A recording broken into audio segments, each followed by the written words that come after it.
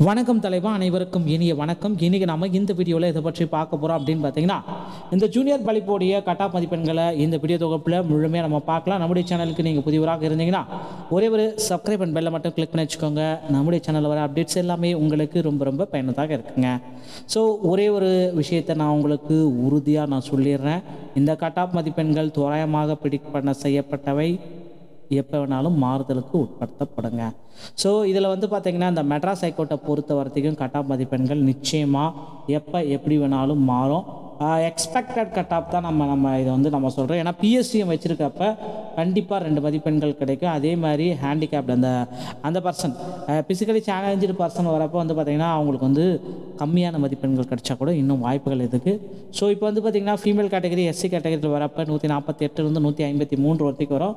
So ஃபைனலான மதிப்பெண்கள் நூற்றி ஐம்பத்தி நான்குங்க அடுத்து வந்து ஃபீமேல் கேட்டகரி எம்பிசி மற்றும் டிஎன்சியில் வரப்போ நூற்றி நாற்பத்தி ஐந்துலேருந்து நூற்றி ஐம்பது எம்பிசி கேட்டகரிக்கு வராங்க.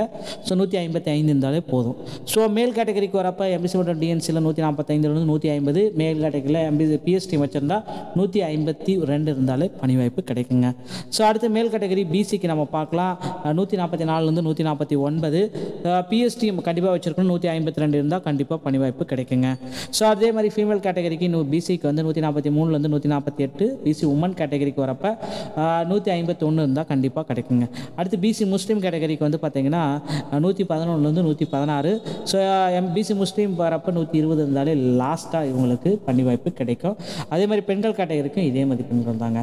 ஸோ ஓவராலாக ஒரு மினிமம் மதிப்பெண்கள் இருந்தால் கூட வந்து பார்த்திங்கன்னா இந்த டைம் வந்து நிறைய பேர்த்துக்கு பணி வாய்ப்பு கொடுக்குறாங்க.